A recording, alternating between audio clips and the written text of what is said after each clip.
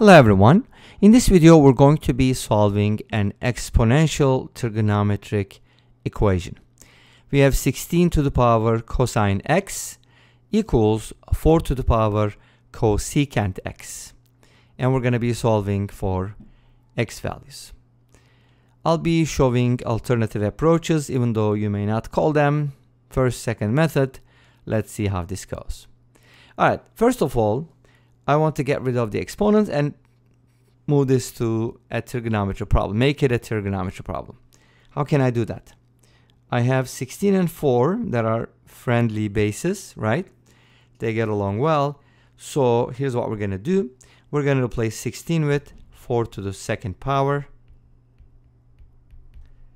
And then that's going to give us something nice because now we can multiply the exponents.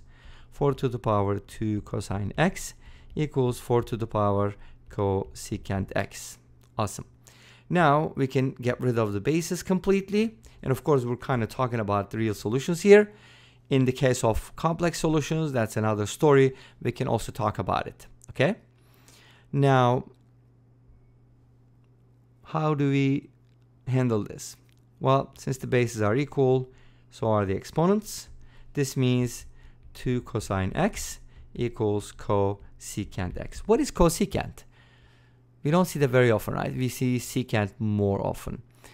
Secant is the reciprocal of cosine and cosecant is the reciprocal of sine. And when I was trying to memorize these, like I was looking for an easier way to do it. And this is what I kind of figured out, or maybe I heard from someone else. I don't know, remember. So here's how it goes. We are going to go from one of these functions to the other as the reciprocals. So the reciprocal of sine cannot be secant because they both start with s. Make sense? So the reciprocals are going to be different letters or different initials. Make sense? I hope this helps. Now, so we can write cosecant as 1 over sine and then cross multiply. Notice that sine x should not be 0. Now think about it. If you, what happens if sine is 0? Cosecant will be undefined. It's not going to work. So we're good multiply both sides by sine x or cross multiply, you get the following. Does that look familiar? I hope it does because this is something you'll see very often if you're doing trigonometry. Okay? So here's what I'm going to do. I'm going to do a little bit of um, trigonometric touch or should I say Pythagorean touch. I'm going to go ahead and add sine squared x plus cosine squared x to both sides. But wait a minute, isn't sine squared plus cosine squared equivalent to 1? Yes, it is. So in other words, I'm adding 1 to both sides. Is that cool? So that's the beauty of math. I mean, there's so many things that make math beautiful, but I guess this is one of them, one of the so many things that you can add seemingly different things on different sides of an equation, but get the uh, true statement. Anyway, so we get something like this. Sine squared x plus cosine squared x plus 2 sine x cosine x equals 2. Awesome. Right hand side is simple. Left hand side can also be turned into a perfect square. That's why we're adding it. It's the whole motivation. I'm like, where does this come from? We are trying to get that, okay? That's the whole idea. So now this is sine x plus cosine x to the second power and we have a 2 on the right hand side. What does that tell you? Something squared equals 2. So if you square root both sides, you get sine x plus cosine x equals root 2. And there's another solution, right? There are two numbers. Sine x plus cosine x equals negative root 2. I'm going to leave the negative root 2 with you and just focus on this one. Why? Because I'm lazy. well, the rest is left as an exercise for you, too bad. Now, here's what we can do about this equation. There's, again, a couple different ways to look at it, but the, the approach that I really like is we're going to multiply both sides of this equation by root 2 over 2, which is a special number, by the way, right? So we're going to get that. Now, when you multiply, it's going to look like this. Sine x times root 2 over 2 plus root 2 over 2 times cosine x, and it's going to be 1. Awesome. That is a reason why I switch these things around, but if you call this cosine of pi over 4, which is 45 degrees, and if you call this sine of pi over 4, I'm not using parentheses, I, I hope you don't mind, and that should be understood. We get the following. Sine x times cosine pi over 4 plus sine pi over 4 times cosine x. What does this tell you? If it does tell you the sum formula, you're on the right track. So this is basically sine of x plus pi over 4. Look at the formulas, you'll see it, and it's equal to 1. What does that mean? Sine what equals 1? There's only one value between 0 and 2 pi, right?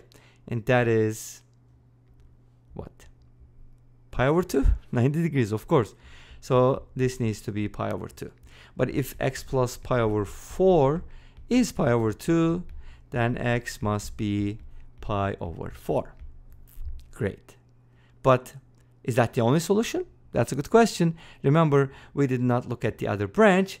That is for you to check. Okay? Please let me know what you find. So we're going to leave it at that. Definitely, I'm not saying definitely, by the way. I should be careful because we squared both sides, right?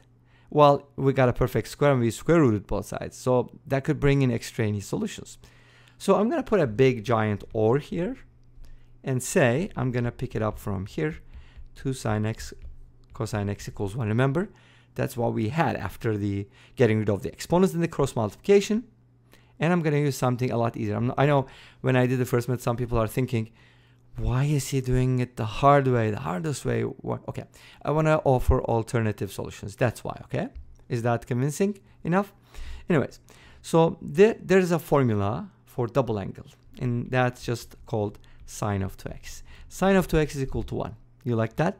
And from here we can say that, okay, 2x is then pi over 2, just like before, but we're also allowed to add multiples of 2 pi, like this. Divide both sides by 2. Be very careful. If you have a negative number, a negative angle, don't divide. First add 2 pi, okay? You'll see uh, why. And this is going to be pi n. n is an integer, right? It's always like that. Now, if n is equal to 0, we're going to get x equals pi over 4. We already knew that, right? That's a solution. That's obvious solution. n equals 1 gives us 5 pi over 4. Are they both good solutions? No, we didn't do anything bad, so they should both be good because we didn't square both sides, so there should be nothing extraneous. Notice that with the first approach or method, whatever you want to call it, we got a single solution because we haven't looked at the other case. But does that give us 5 pi over 4? That's something for you to find out. Anyways, so that's pretty much the whole idea, but I want to show you one more thing how do you handle the complex scenario, right? And of course, I'm going to show you some results from Wolfram Alpha, right?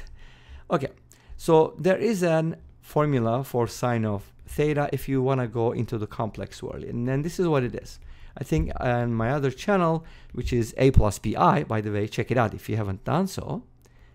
Shameless self promotion. Okay, and you'll find a lot of information about complex numbers. But this is one of the formulas, right? This is one of the formulas. And if you apply it on 2x, right, you're going to get the following. Sine of 2x equals e to the power 2ix minus e to the power negative 2ix divided by 2i.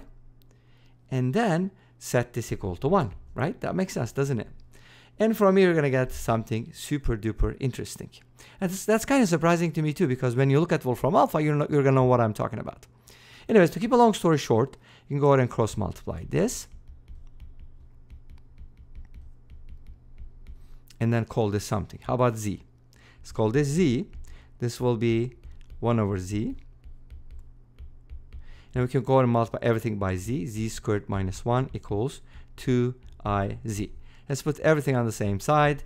z squared minus 2iz minus 1 equals 0.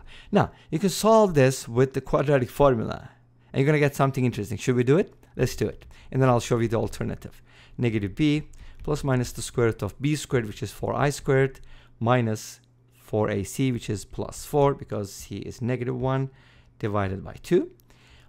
Uh-oh, i squared is equal to negative 1, 4i squared is negative 4. These two cancel out, leaving us with 0. The discriminant is 0. You know what that means? z equals i. We have a single solution, we have a perfect square. So let's go ahead and take a closer look at this. Z squared minus 2iz minus 1 equals 0, right? That's basically z minus i squared. Get that?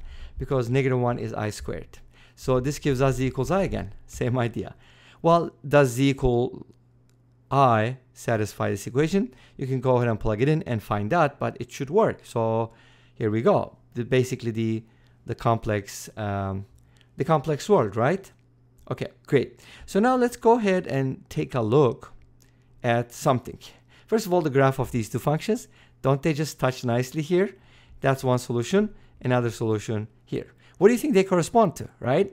One of them is definitely pi over 4, and the other one is probably negative 3 pi over 4, which we didn't find. We found 5 pi over 4. Wait a minute, they're the same, right? Pretty much. And this is what Wolfram Alpha gave me for complex solutions. Pretty complicated. I wanted to cut it off so that you know it doesn't end here. And this brings us to the end of the video. Thank you for watching. I hope you enjoyed it. Please let me know. Don't forget to comment, like, and subscribe. I'll see you next time with another video. Until then, be safe, take care, and bye-bye.